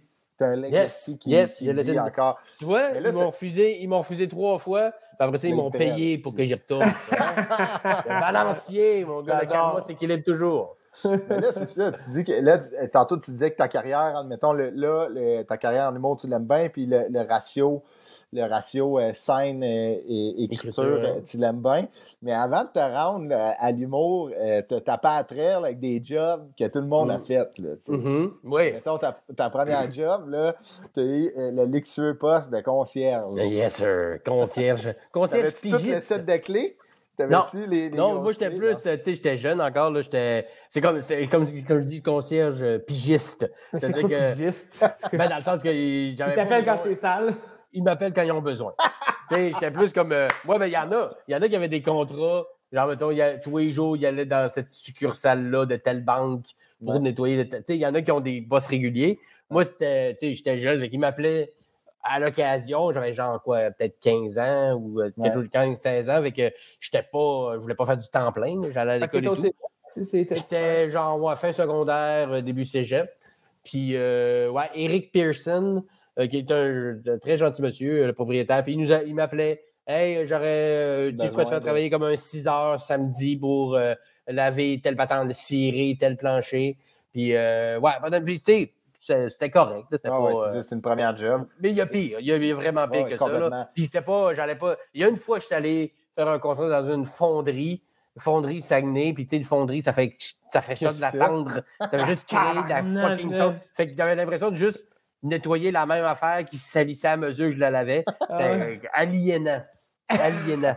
Parce que la satisfaisant, pareil, de laver Ouais, quelque chose de qui vient t'es comme, ah, c'est ma job, c'était carré. mais Puis là, tu quand- reviens cinq minutes après, puis c'est à refaire. Ça, ça Ah, man, Même la vraiment- cafétéria, tu sais, le monde qui travaille dans des fonderies, c'est pas les. Tu sais, ils sont, sont sales, les deux, c'est normal. Ouais. Ah Fait ouais. que j'allais nettoyer tout ça, il, il allait dîner, j'allais dans. Fait comme Chris, il s'est ri. Qu'est-ce qui s'est passé ici? T'allais nettoyer les dudes. Ouais, c'est ça, vous êtes tous des batailles de boules de mégots. Si, c'est quoi votre. euh, Ouais, C'est bien au gars la pression, Ouais, au gars la pression. Stéphane, next. euh, Simon que j'ai fait ça, ça c'était ma première. euh, ma Mais première- là, c'est ça, là, après, t'es es parti. T'es- moi, j'adore euh, euh, j'adore que- comment tu me l'as dit, là, mais t'es parti, t'étais- t'as lâché la conciergerie, puis t'as commencé ta carrière dans le milieu du dépanneur. Ouais, ouais, ma, ma- ma luxuriante carrière dans les milieux des dépanneurs. C'est un, job assez classique là, pour les Ben jeunes oui. qui travaillent dans des dépanneurs. Euh, J'en fais pas exception. Fait que ça, pendant quoi? dans- pendant plusieurs années, euh, j'ai travaillé dans des, de- plusieurs dépanneurs. Un dépanneur Maestro qui était pas loin de chez nous. Bouffer plus, ça s'appelait dans le temps au Saguenay aussi. J'ai fait une coupe de places comme ça. Puis euh, moi, j'aimais moi, j'étais- j'aimais ça faire de la caisse. Moi, j'aimais ça bien ça. Ah ouais, hein, Euh, bip, bip, bip, bip, faire payer, mettre dans les sacs, tout ça. Puis euh, j'aimais ça, on était toujours deux par chiffre. Fait que j'aimais ça me, me faire jumeler avec quelqu'un que lui, il aimait mieux aller faire les facing puis pas Le voir de monde. tu sais. ouais. Ouais, ouais, ouais. Est-ce J'étais que dans ton CV, euh, c'était. Moi, j'ai travaillé dans un dépanneur aussi. Puis euh, dans mon CV, euh, j'avais marqué service à la clientèle. tu sais. Ouais. J'avais pas marqué. que- tu sais, je sais, je sais pas pourquoi je ne marquais pas caissier, mais je trouvais que c'était plus prestigieux de dire que j'étais un, un- un professionnel du service à la clientèle. Professionnel, ouais. Euh, inventaire aussi, de euh, euh, Inventaire. faire- Mais c'est pas l'inventaire, c'est juste je remplissais le lait quand il n'y en avait plus. Là, je C'est ça, tu calculais pas combien dans il en les restait. opérations. tu sais, Ouais, c'est ça. Non, non, non, non. Juste Fait des termes veulent rien euh, Oui, exactement. fait que ça, j'ai fait ça. Puis, tu sais, honnêtement, ça, c'était c'était un job. Tu sais, je travaillais le matin, le week-end, des Ben fois oui. le, euh, le- au congé, tout ça. Je travaillais pas de nuit. Fait que, tu sais, ça, c'est. Ah, fait que pas d'hold-up, pas d'histoire de. Comme, pas- euh, non, Saguenay, c'est tranquille. Tout le monde Non, se c'est connaît ça. un peu. Puis, Ah ouais. Tout le monde se Euh, couche tôt. Je dis pas que c'est jamais arrivé, c'est sûrement déjà arrivé, mais moi, jamais. Puis moi, je travaillais surtout le matin, euh, des fois l'après-midi, jamais la nuit. Fait que, tu sais, des fois que c'est arrivé, c'était plus de nuit, j'imagine, mais non, c'est pas. euh, C'est quoi le plus tôt que tu as ouvert? Excuse-moi, vas-y, Chris. Au le matin, faut-tu ça spécial? Ouais, c'est spécial. Non, mais c'est quoi le plus tôt que tu as ouvert le frigidaire à bière? Ah, je peux pas l'ouvrir plus tôt que 8 heures. C'est pas, c'est pas C'est- 6 heures. Non, c'est 8, mettons. Mais Il y a du monde qui le 8. demandait à 7h59. Non, il y en a qui étaient la Sainte- Ben, tu sais, au Saguenay, il y a bien du monde avec des chalets, puis ça. Fait que Ah, le classique, le samedi, c'était du monde qui arrivait avec le pick-up, le, le, le- le 4 roues, ben skidoo, dépendant de la saison. Ouais. foulait tout ça, 120 pièces de gaz. À 7h59, il était là. Puis là, moi, à 8h, dès que je faisais clic, le cadenas était débarré. Il se prenait deux caisses de Laurentide. Tu sais, classique. là. Ah ouais, hein? Du fromage en crotte, là, du fromage en grain, des poches, là, grosse comme, la, comme ma tête, genre. Puis là, il me demandait de mettre du jus dans ça, le petit lait qui est dans le fond du bac. Là. Il fallait que j'en mette dans le sac pour Ah! que ça reste humide, pas qu'il Ah, sèche. c'est C'était des pros. cette affaire-là. Ouais, ouais. Genre, ça devait lui coûter comme 200 pièces, 250 pièces de bière, de fromage puis de gaz. Ça en allait au C'est chalet. bon. Ça en allait Ça- faire des pierres au rein puis du Ah Ça va l'échapper. Ça va l'échapper en pissant du sang. Ouais, C'était tout le temps les mêmes, c'était tout le temps les mêmes qui venaient. je le voyais rentrer, il s'en allait au call. J'ai préparé son sac de fromage d'avance parce que je Ah savais. C'est- Ah ça, je trouvais ça quand même cool de connaître les, Ouais, les clients. Puis il y avait des fois que, tu sais, la madame là, elle prenait ses tels gratteux, puis à un moment donné, je le savais. Ah ouais. Puis, euh, c'était pour, pour, la, pour l'âge que j'avais et tout ça, euh, ouais. c'était. Euh, et puis, petite, une petite anecdote rapide euh, de dépanneur. euh, ma, ma, ma boss, j'ai bouffé plus, elle était bien gentille, elle était très suspicieuse. Fait que, tu sais, pas rentrer parce que t'es malade, elle était toujours hein, sais, Ouais, qu'est-ce elle ne croyait jamais, en gros. Là. Ah, ouais. Puis, euh, moi, quand je travaillais là, c'est cette année-là que j'ai eu mon diagnostic de diabète de type 1. tu sais. Fait que je rentrais à l'hôpital, j'avais une glycémie à 42, genre. Fait que, c'était c'est quand même assez grave comme condition. Fait que moi, je travaillais ce soir-là. Fait que, moi, je rentre le matin ou l'après-midi à l'hôpital. Ils me disent, ben là, tu t'en vas pas nulle part avec ça, on te garde, c'est sûr. Puis je filais pas, on va se dire. Ah ouais. Fait que j'appelle ma boss parce que je rentrais à 3 heures pour travailler. Il se dit, écoute, je pourrais pas rentrer travailler euh, parce que j'étais à l'hôpital, puis ils viennent me diagnostiquer un diabète de type 1. Tac, Puis, elle- tu sais, elle fait comme Ah, euh, ben OK, euh, rappelle-nous. Que je raccroche, je fais mes affaires. Puis là, plus tard, mon père m'a avoué qu'elle avait appelé mon père Ben, voyons. après donc. pour savoir si c'était vrai. Puis Ben, il l'a- tellement ramassé. Parce qu'il a comme Tu penses que toi, il t'a appelé, puis au lieu de faker une gastro ou une grippe, Il va faker ouais. du diabète. Lui, il va, il va hypothéquer un mensonge vraiment dur à gérer pour manquer un chiffre de job. Tu sais, à quel point t'es conne, si. Ah, T'es- Ah non, il, ça va avait- dans il l'allure, était hein? pas content. Là. C'est sûr qu'elle vraiment croit pas à COVID, elle. Non, non, non. non. non, ouais, tout s'est creux. ouais, Elle appelle ouais. les parents de tout le monde. Ouais, c'est vraiment. Elle est encore sur le téléphone. elle, mettons. pas- elle avait pas- elle était pas sûre, hein, Chris. elle, elle comprenait pas ce que ça représente, dire à quelqu'un que t'es diabétique quand c'est pas vrai. Ouais. à quel point c'est un Ben, mensonge tu lourd. connais pas le diabète de type 1, peut-être que c'est pas là. tu C'est Ben, le diabète, déjà, 2. même si t'as pas des détails, diabète, tu ouais, c'est pas le diabète pour pas rentrer travailler. là. Ah, moi, non, non, j'avoue que Christ, toutes là. les fois que j'ai dit des menteries pour aller pour pas rentrer travailler ou pas aller à l'école, c'était pas mon excuse. Non, Ben, non, non. Diabète, là. Non, déjà, c'est ça, j'ai une tumeur, tu sais, j'ai un anévrisme au cerveau, faut qu'on m'opère. C'est un peu lourd, là. Tu dis que t'as une grippe ou une gastro, puis t'as chié de l'eau. Ah, Elle n'a aucune manière de savoir que c'est pas vrai. ouais. Euh, À moins qu'elle vienne d'avoir une si français. Ah. J'ai fait sauter mon drain français tellement j'ai chié. Fait que, euh, Chris. Ah non, mais faut-tu faut-tu être suspicieux, suspicieuse pour dire m'appeler son père? Pas, euh, pas mal sûr que c'est pas vrai le diabète. elle a pogné son Waterloo, comme on dit. Sacrément. Mais aussi, euh, tu sais, euh, tu m'as raconté, tu étais, si bon à la caisse qu'une matinée, tu t'es fait.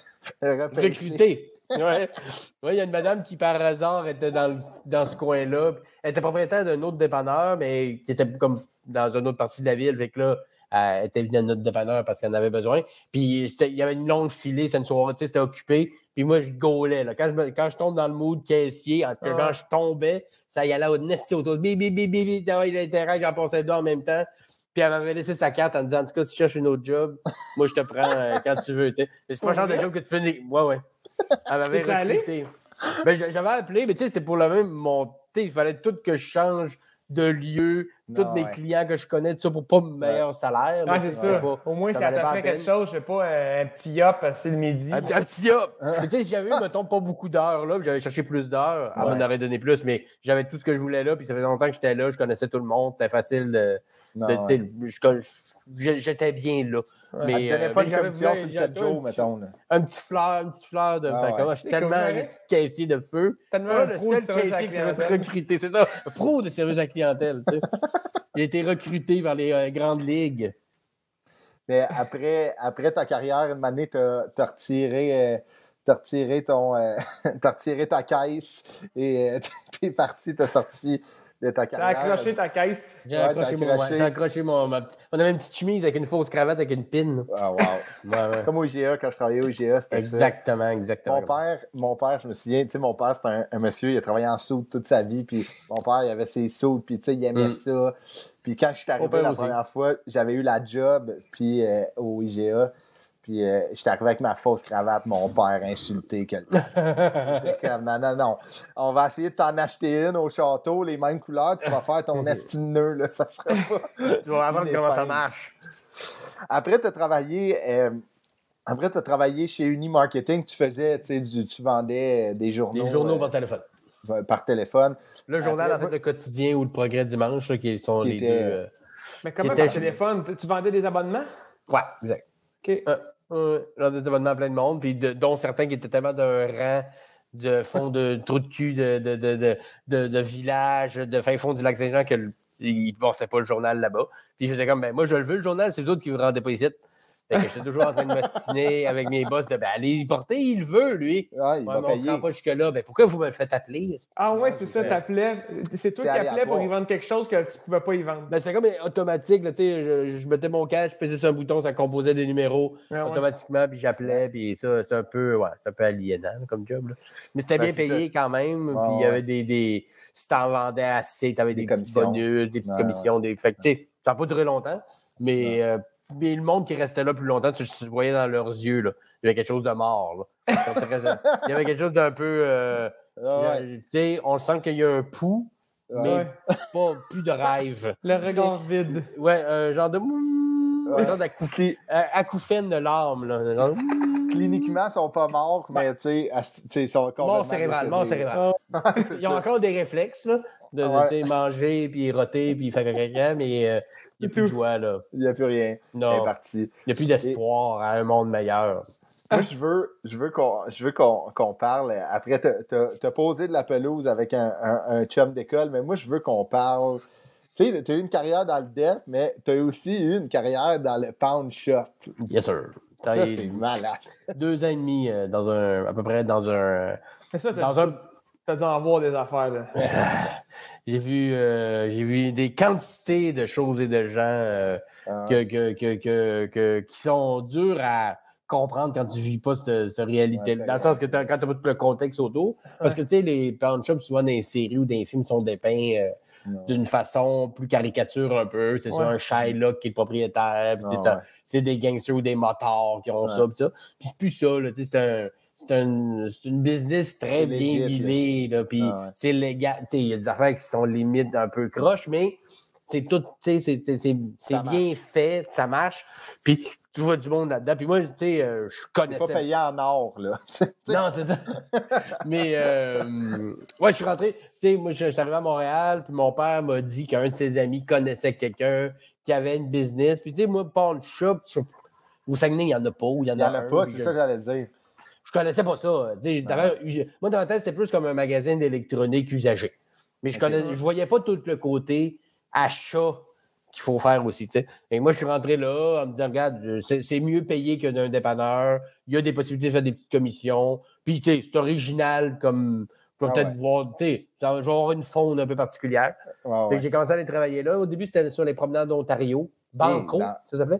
Hochelaga. Maisonneuve, Ouais, je pense que je suis déjà allé. Ouais, ouais, ouais. Chez Banco. Mais pour faire des achats, honnêtement, euh, pour tu sais, les instruments de musique, c'est ça, exact. Dans le temps, le- les jeux vidéo. En tout cas, il y, a- tu sais, il y a- il y a une façon de faire des bons deals là, quand tu es acheteur.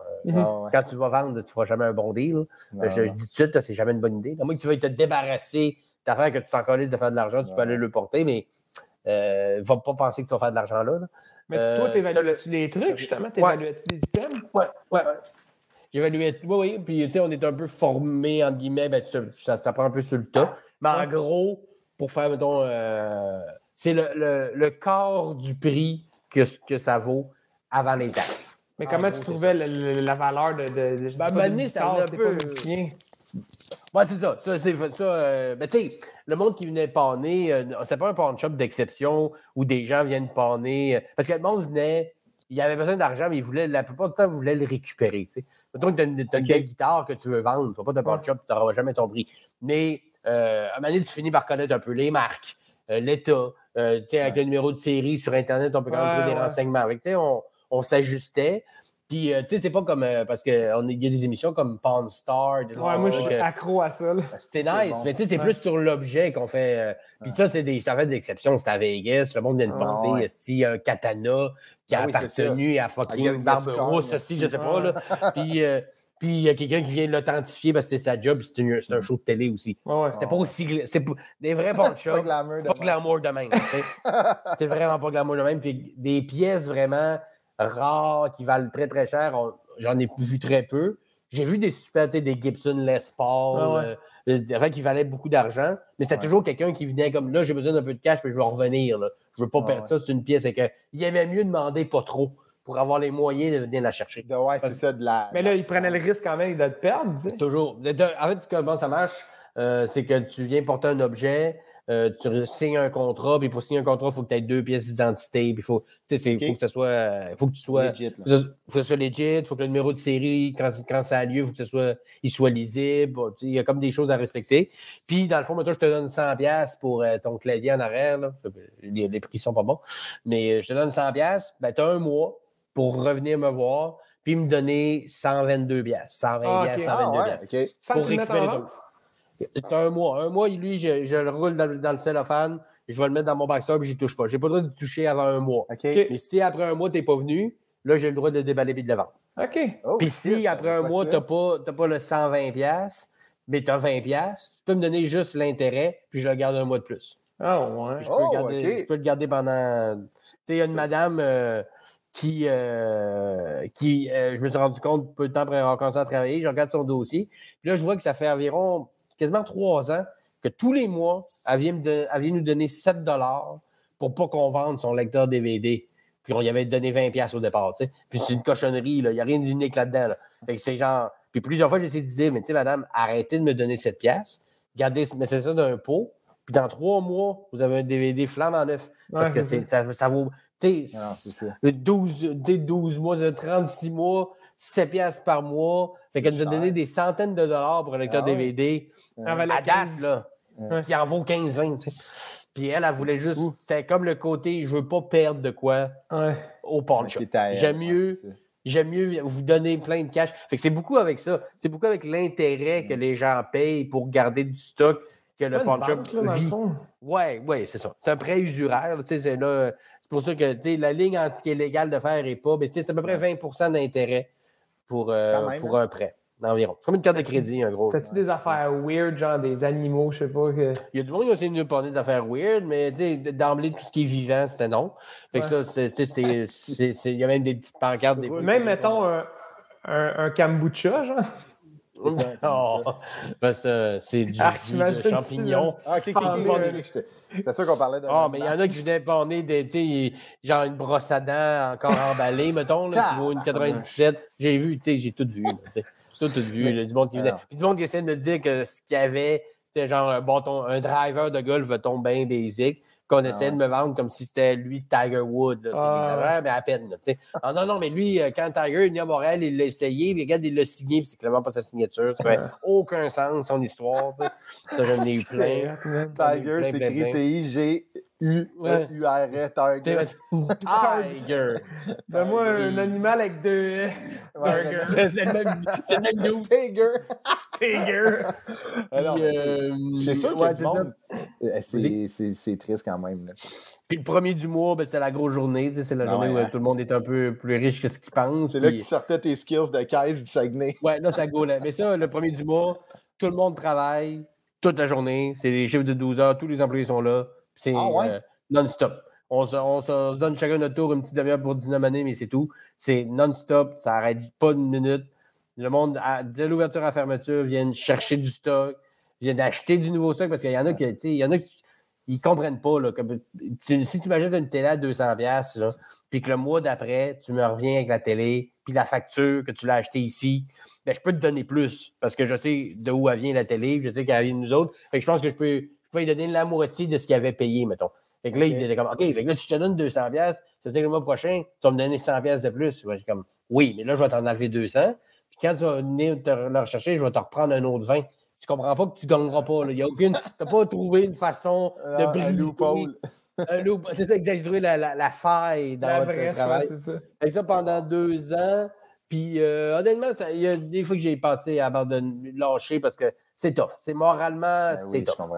C'est deals tout le temps avec du monde un peu démuni, là, tu sais? Oui, puis il y en a pour qui. tu sais, Il y en a que j'ai vraiment vu que ça a aidé et qui sont sortis de quelque chose. Ouais, ouais. Il y en a que c'est. c'est- c'est- c'est En pente descendante.